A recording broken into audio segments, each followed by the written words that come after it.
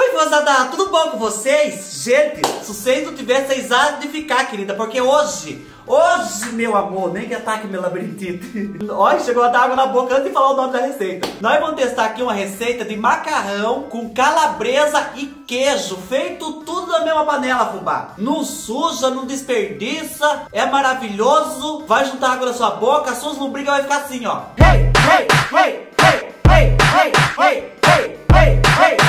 Pense no macarrão, porque parece que tá louco de gostoso e facinho de fazer, fubá. Só é fazendo misturança, fazendo misturança, hora que vê saiu o macarrão. Então nós vamos testar aqui. A hora que eu vi na receita da mulher, eu falei, meu Deus do céu, preciso testar esse macarrão. Urgentemente, querida. E tô aqui para testar, fubá.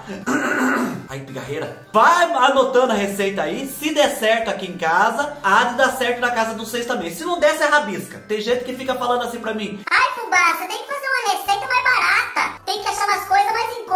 Gente, eu pergunto pra vocês, o que que tá barato hoje em dia? Eu fui no mercado agora há pouco comprar essas coisas pra vocês. Deu uma voltinha lá, fubá. Peguei mais algumas coisinhas que eu tava precisando. Na hora que eu fui no caixa, deu 100 real. Cair dura e preta pra trás, com o paletó botado e as quatro velas acesas. Falei, meu Deus, tá tudo caro. Então se for pra fazer uma coisa barata, barata, barata aqui pra vocês, é só eu fazer pudim de gelo. Coloca água na forma de pudim, põe na geladeira, espera ela gelar, tira, desenforma e come.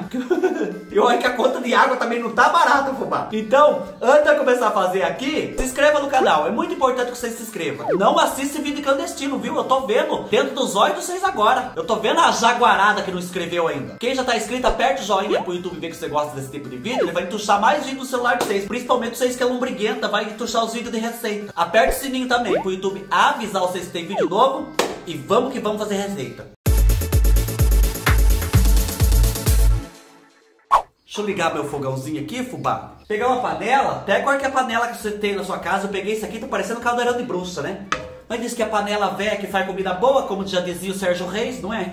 Então deixa aqui esquentando. Nós vamos colocar aqui, fubá, um pouco de azeite. Lembrando que eu tô colocando azeite porque é o azeite que vocês mandaram pra mim. Que se dependesse de eu comprar azeite pra fazer essas receitas, ia óleo de cozinha mesmo, querida. E se não fosse óleo velho de fazer sabão. Que é pra dar um sabor. Gente, tá tudo caro. Não adianta. Nós não tem pra onde correr, querida. Nós não tem pra onde correr. E se correr muito, tem que trocar de sapato. O sapato tá caro também. Deixa eu ver aqui a minha ficha. Ah, nós vamos colocar, fubá, uma cebola média picada. O meu já tá picado aqui porque a receita é facinha, man mas como que é vários ingredientes, fubá, então já vai adiantando aqui. Então eu piquei a cebola na força do ódio, chorei, chorei, chorei tudo minhas mágoas e tá picada. Vai colocar também, fubá, uma calabresa. Na verdade, na receita da mulher é uma calabresa, eu tô colocando meia, porque me deram a calabresa muito comprida demais. A gente pede da pequena, na hora que vem estão dando uma calabresa de um metro. Se você sair correndo com a calabresa, você tropicar na rua, bater com a ponta da calabresa no chão, você dá um salto com vara por cima do banco da praça. A turma pensa que você é a Daiane dos Santos, não sei se ela dá um salto com vara, mas é a única esportista que eu sei o nome agora pra fazer a piada. Lembra de tirar a pelinha da calabresa aqui, ó, esse corinho, porque senão você vai ficar que nem aqueles cachorros vira-lata que come linguiça na rua, fica com o plastiquinho pendurado na bunda depois. Tome cuidado. E na receita original da mulher, ela fez com calabresa em rodela. Eu pensei assim, não quero rodela, não sou cofrinho, não mentira. Eu cortei ela tudo em picadinho, fubá, porque a minha digestão é preguiçosa. Então em picadinho fica melhor. Mas você corta do jeito que você quiser, só não vai tacar os gomos de calabresa inteiro aqui que não vai dar certo. Então vamos pôr pra fritar também, fubá. A metade da calabresa aqui junto com a cebola e, e, e com os negócios. Dá uma ensaboada boa aqui e deixa fritando. Enquanto frita, fubá, vamos picar aqui, ó, dois dentes de alho. Deixa eu passar pra cá. Ai, tá quente, senhor. tá pelando pequeno. Vamos picar dois dentes de alho aqui, que eu já descasquei, mas picar bem miudinho. Que alho tem que ser picado miudinho, né? Aqui em casa tem um picador de alho que você mandou pra mim, não tem? Tá em algum lugar aqui, mas não sei onde que tá. Mas agora já foi na faca mesmo. Porque a gente que é das antigas, a gente parece que tem uma dificuldade pra entrar na modernidade, né? A gente não aceita muito progresso, às vezes parece. Tá tudo coisado aqui, ó, picado já o, o. Enquanto isso tá fritando aqui, tá pererecando a coisa aqui dentro do caldeirão da bruxa. Dá mais uma mexida, uma saboada. Enquanto frita ali, fubá, nós vamos picar três tomates. Em casa só tem dois tomates, mas o resto de uma salada que eu fiz ontem vai ser esse, não tem pra onde correr. Ficar bem picadinho também, fubá. Depois nós vamos incorporar ali. Credo, incorporar, é coisa de espírito, né, que incorpora.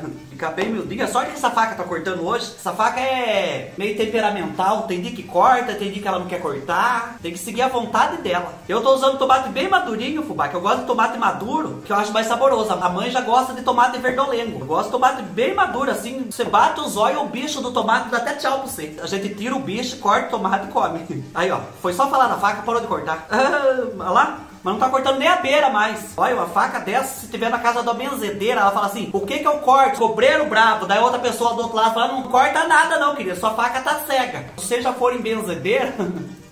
Um beijo pro asilo que vocês vivem. Antigamente a criançada era tudo curado da benzedeira, tá todo mundo são, tá todo mundo feliz. Hoje em dia não tem mais benzedeira. A criança pega um verme, um brigueiro, um coalheiro virado, você leva no médico, o médico dá uma olhada na criança, olha no pé, olha nos olhos, olha na mãe, escreve o negócio, passa o remédio, vai ver, não curou a criança nada. Agora eu pergunto, onde tá essas benzedeiras, Brasil, que tá acabando tudo? Depois que você perceber que já tá cheirando fritura, fubá, que o seu vizinho já tá farejando de longe, já tá sabendo que tá acontecendo alguma coisa na sua casa, que vai sair comida boa, você pega o alho que você picou e põe aqui também, ó.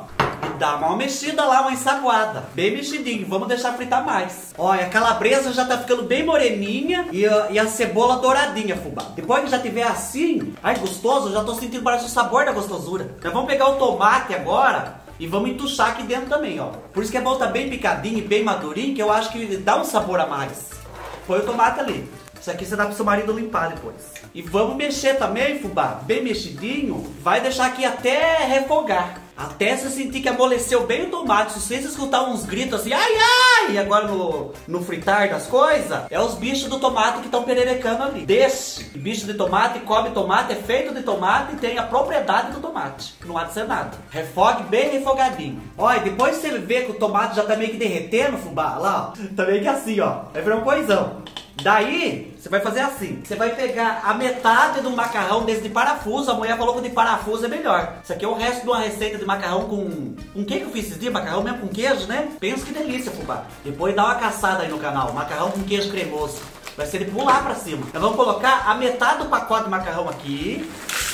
Vamos colocar também uma caixinha de creme de leite. Peguei da mais barata e a mais barata tá cara, fubá do céu. Nós não estamos tendo o que fazer da nossa vida mais. O pobre não tá dando direito nem de comer um morango, porque tá caro o creme de leite para comprar para passar no bendito. Então por aqui, ó, creme de leite também. E você vai medir aqui no seu medidor 600 ml de leite. Meu Deus do céu praticamente metade da teta de uma vaca, né? São leite de vacas finíssimas, raríssimas, queridas. São vacas que comem em restaurantes franceses. Elas sabem a sequência do garfo e da saca certinho assim. É capinha grega, capinha ao molho madeira, vinho de capim. Na entrada vem um refogadinho de capinha milanesa. Para terminar, um doce finíssimo, né? Um pudim de capim. Como que eu falei? 600 ml. Nossa, 600 ml, meu Deus. Será que tá certo isso? Vamos fazer aqui. É meio litro e mais um pouco, né? Senhor, vai acabar com o meu leite. Mas vamos colocar aqui. Aí esparramando tudo, deve ser alguma bezerra que tá olhando aí, ó, a lameira que virou aqui. Gente, por Deus do céu, é mostrar as coisas de comer desse canal que cai tudo. Ô raça zoiuda, ó,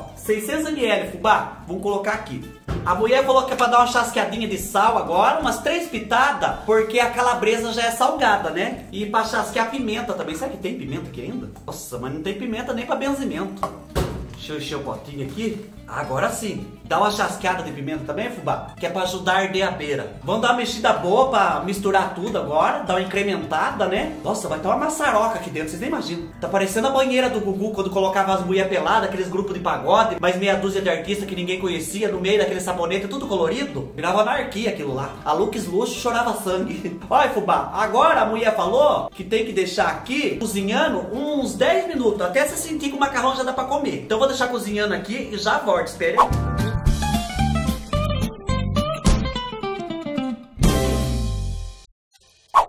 Pronto, fubá. O meu foi 12 minutos. Empurrar o negócio pra lá. Porra, que a faca tá quente.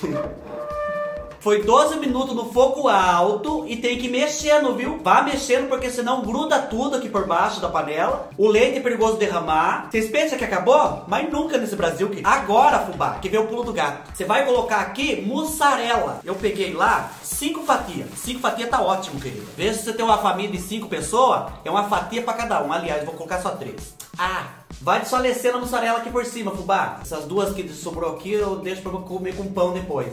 Porque a mussarela tá caríssima, né? Desfaleça, joga a mussarela aqui. Ai, meu Deus, eu já tô com vontade só de ver. É que vocês não estão vendo aqui dentro. E nós vamos colocar também cheiro verde. O meu cheiro verde é cebolinha e salsinha bem picadinho que eu congelei. Eu peguei lá na casa da mãe. Foi bastante, que eu gosto bastante, fubá. E agora nós vamos mexer aqui essa misturança. Fubá do céu. Ah, vocês têm que ver. nós vamos tampar e esperar uns 3, 4 minutos, que é pra poder tá derretendo o queijo. Olha, a mão de vaca é assim, né? Eu guardar os dois queijos e comer com, com pão mais tarde. Bom, agora chegou a hora da verdade. Pera, deixa eu puxar pra cá. Hum, que cheiro gostoso, meu Deus do céu. Cheiro pra vocês verem. Olha lá dentro da panela. Ainda mais que fiz com macarrão colorido, ficou lindo. Calma que eu já vou mostrar. Vou pegar o pegador de macarrão aqui. Olha a esticância. Hum, gente, ai que delícia. Ai, meu Jesus Cristo. Cada puxada é um santo que eu chamo. Ai, Maria Madalena. Gente, que lindo. Vou colocar só um pouquinho, que é pra nós poder experimentar aqui. Mas, ai, daqui a pouco... Espera, deixa eu pegar um pouco. Ih. Olha, fubá. Santa Rita de Cássia. O que significa isso? Meu Deus. Jogar mais um pouco de cheiro verde aqui por cima, só pra bater a foto da capa. E agora chegou a hora boa, né, fubá? Olha esse prato. Vou pegar aqui um pouquinho pra experimentar. Ai, eu tô... Olha isso. Nossa, eu tô a tremedeira, não sei o que significa. Pera aí, vai ser agora, fubá. Ai, que delícia, que parece que tá ajudando a água na minha boca. Soprar bem, senão gruda no céu da boca, né? Sai gritando que nem uma cadela no meio dessa casa. Vamos ver.